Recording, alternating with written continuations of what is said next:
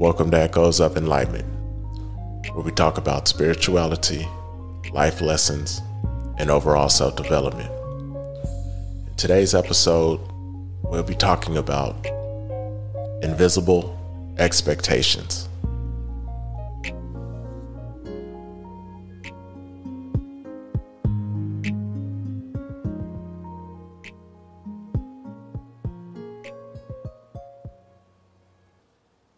I was at the gym earlier today and I was talking to this guy that I know from the gym. And I asked him, I was just like, hey, you know, how was your weekend? He's like, oh, it was good, man. Went on a date last night with this chick. It was it was okay, but the date didn't really go as I as I planned. Had all these high hopes on, you know, how things would go and, you know, nothing really fell in place. So we just went home. You know, that was about it. Then I asked him, I said, Well, how do you think the date would have went if you didn't already have high expectations on how it should go before you even got to the date? Knowing, you know, she's a, a stranger to you. He's like, Oh, well, yeah, yeah. And I said, All right, well, look, I said, pick a number between one and five. He's like, Huh? I said, Pick pick a number between one and five. He said two. I said, Nope. It's it's four. He goes, Well, how am I supposed to know that? I said, Exactly. I go, that's what having high expectations is. You are expecting for somebody to meet your high expectations. That means meet an invisible plan that you have in your head that nobody knows about but you. But they're supposed to fill these these expectations, these hopes and dreams that you have for them. And they don't even know that that's what the plan is. They're thinking they're just coming to meet you, but you already have a plan in your head for what they're supposed to do on this date. He's like, Yeah, that's true. And I said, The only expectations you should have going on, going on a date is expecting them to show up to the date and expect them to, you know, meet you there at a certain time that you planned, that y'all planned. And the rest of the expectations should be put on yourself. Like, I expect for myself to be a good listener while I'm on this date. I expect for myself to be there on time. I expect for myself to be pleasant on this date. I expect for myself to try my best to have a good time and enjoy myself. Those are the expectations we should have. Those are the only ones we should have. And the rest, you let the person be who they are.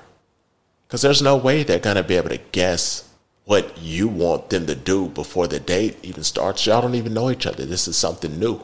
That's why you're going to meet each other so y'all can get to know each other. It's almost setting yourself up. Well, it is. It's setting yourself up for failure, expecting somebody to be able to fill those shoes that you've expected them to walk in, if you know what I mean. Like, like there's no way a new person's gonna be able to guess what you expect for them to do. It's really, it's not gonna, it's not gonna work. You really got to ask yourself at that point, like, what, but why, why am I on this date? Because I'm already, you're sabotaging it. Um, you're sabotaging the date. Because the person's not gonna nobody's to meet those expectations because they're, they're not talked about. This is just invisible. This is what you have, your hopes and dreams that you have in your mind.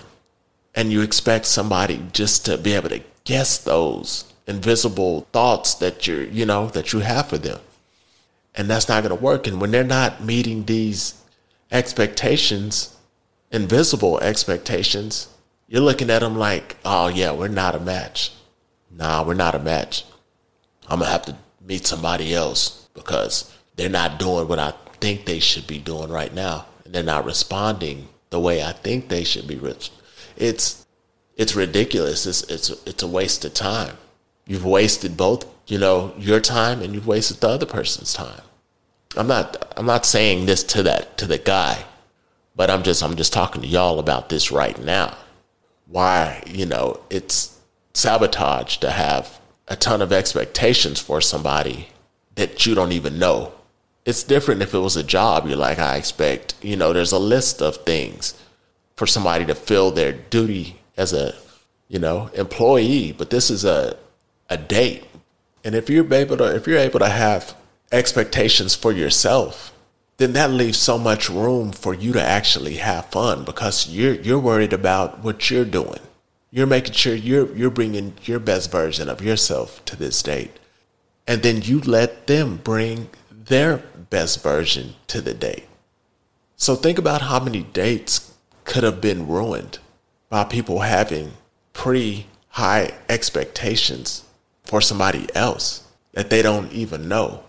They could have had a lot of different people that matched with them, but they were excluded from the running or the date was cut short due to you not meeting a certain thing. But then if you think about it, what what would happen if somebody did meet all these invisible expectations that you had for them? Say they did meet all those. Chances are you wouldn't want them either, probably even more because you would say this is too good to be true. Now it's too good to be true. They there's some, there's got to be something wrong with them. So you exclude them then too. You X them out because they're too good, and then you X them out because they're not meeting the standard. So if you can worry about having expectations for your own self and just go with the flow of the date, chances are you'll be pleasantly surprised by how cool some people can be just on their own without them having to meet your pre planned standards. But I'm going to end this right here.